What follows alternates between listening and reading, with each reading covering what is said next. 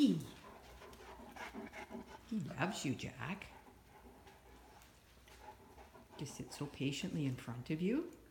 Good boy, Mikey. You love Jack the cat. And there's Ellie. Everybody loves each other. Oh. Happy family.